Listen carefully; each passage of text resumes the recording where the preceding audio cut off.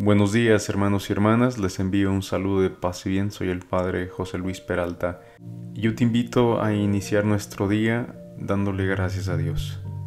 Aunque te sientas triste, aunque a veces no hay el ánimo, aunque a veces pienses que no hay un por qué darle gracias a Dios, simple y sencillamente hay que darle gracias a Dios. Gracias a la vida, gracias a tantas personas que nos rodean, gracias por la familia, gracias por el trabajo, Gracias por esas personas que a veces crees que no te quieren, que no te entienden.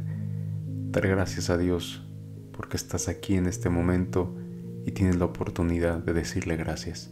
Y con eso en mente vamos a escuchar nuestro Evangelio que está tomado de Juan capítulo 5 versículo 1 al 16. El Señor esté con ustedes y con tu espíritu. Lectura del Santo Evangelio según San Juan.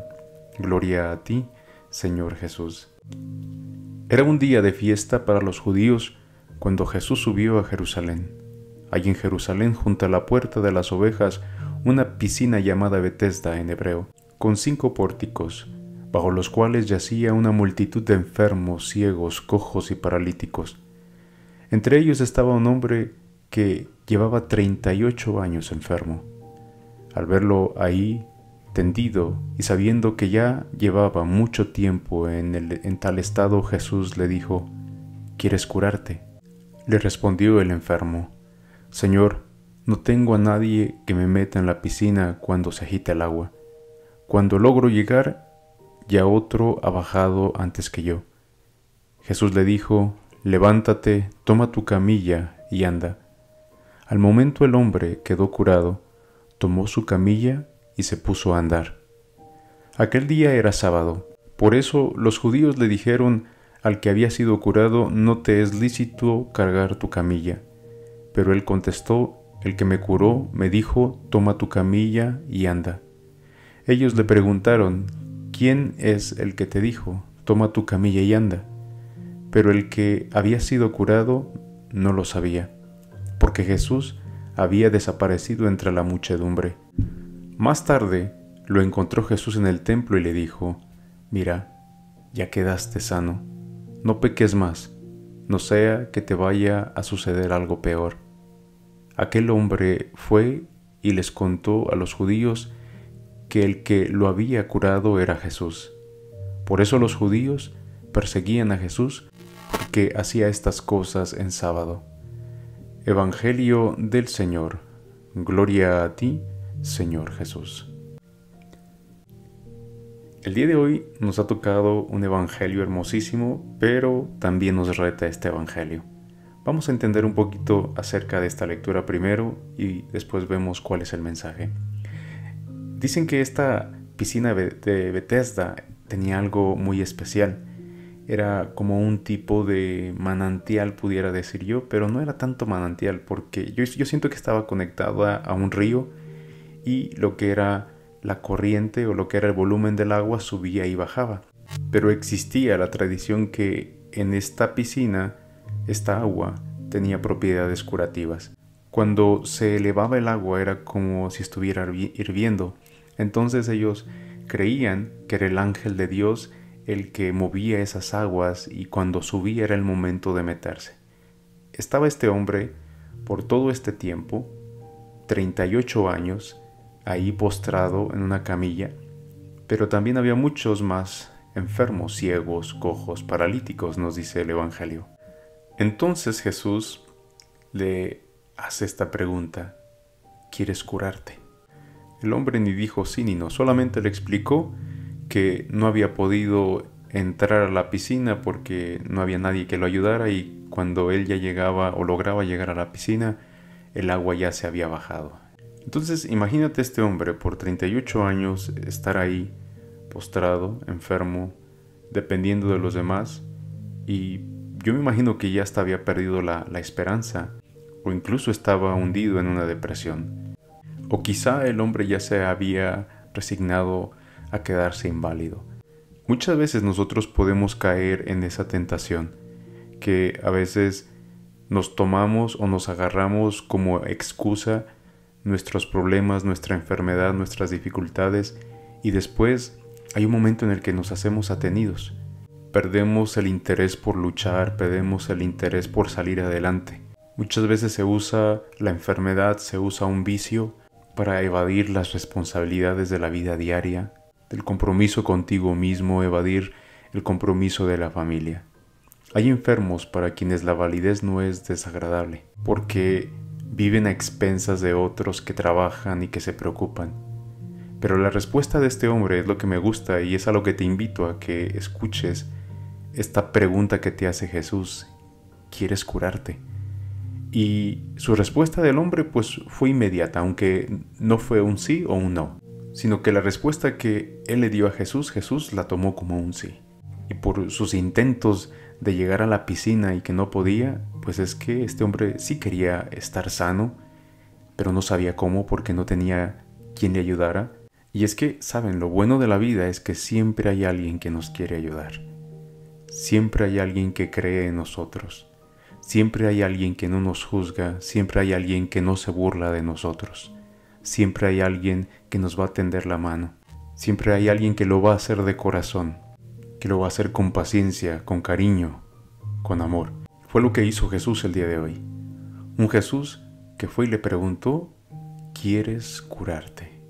Y esta es la primera condición para recibir esa ayuda de Jesús, esa ayuda de Dios, es desearlo intensamente y sinceramente. Hoy Jesús nos dice, ¿estás seguro o estamos seguros de que queremos cambiar? ¿Qué le vas a responder? Pero si en lo más íntimo estamos contentos de seguir como somos y se nos hizo cómodo y no tenemos ninguna intención y estamos engañándonos a nosotros mismos, no se producirá ningún cambio, hermano, hermana. Así como Jesús se dirigió a aquel hombre para decirle que se levantara, hoy se dirige a ti y a mí y nos dice si quieres curarte, levántate. El día de hoy, ¿de qué te tienes que levantar? El día de hoy, ¿de qué quieres curarte? Cuando Jesús le dijo a ese hombre, levántate, es como si le hubiera dicho, ¿sabes qué? Aplícale o inyectale tu voluntad. Y tú y yo conseguiremos entre los dos lo que necesitas en este momento.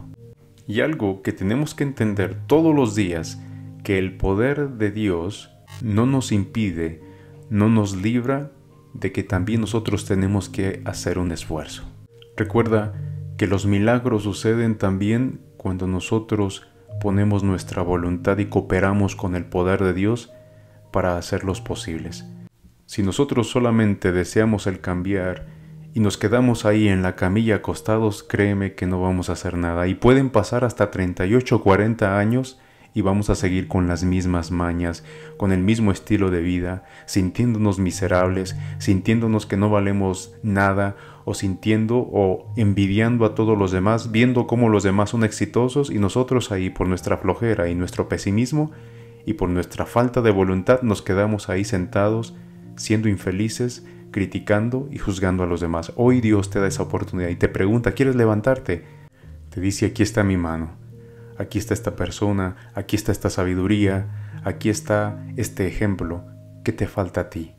¿Qué es lo que necesitas el día de hoy para que tú te convenzas de que si hay algo difícil que tú quieres lograr, si hay algo difícil que tú quieres superar, no te des por vencido? En realidad, lo que Jesús está diciéndonos en este momento, y le estaba diciendo a aquel hombre, es que tenemos que intentarlo. Inténtalo.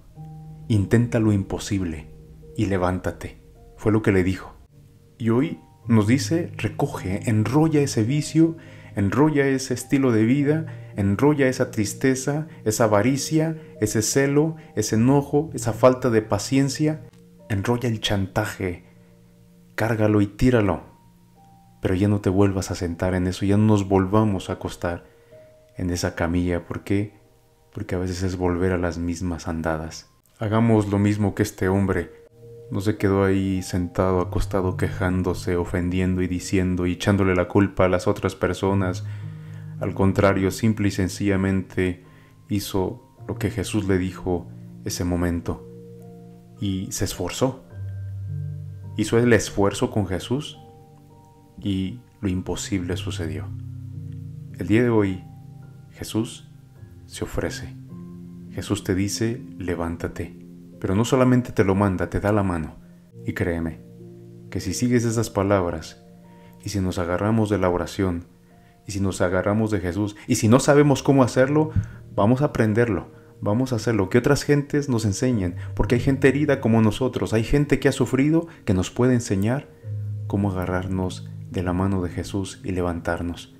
Porque si lo queremos hacer solamente con nuestras fuerzas, con nuestra voluntad, hermanos, muchas veces vamos a fracasar.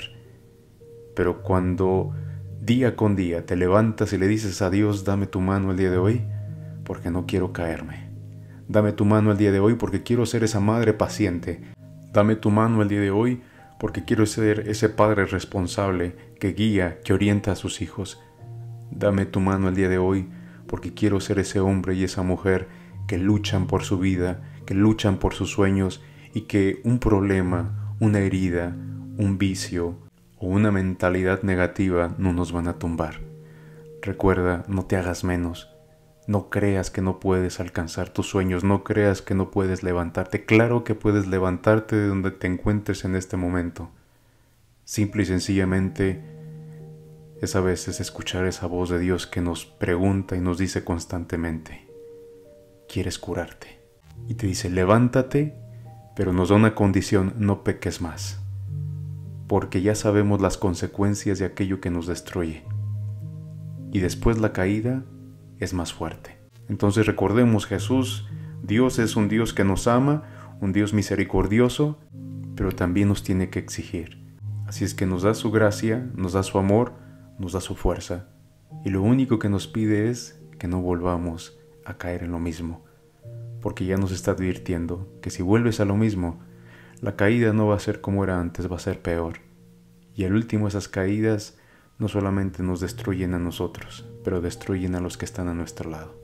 Hermanos y hermanas, sigamos viviendo esta cuaresma, este tiempo santo, que nos abra los ojos, no solamente a ver nuestros defectos, pero que nos abra los ojos para darnos cuenta de lo que somos capaces como cristianos, como seres humanos porque podemos realizar tantas cosas, pero a veces somos flojos, a veces somos atenidos.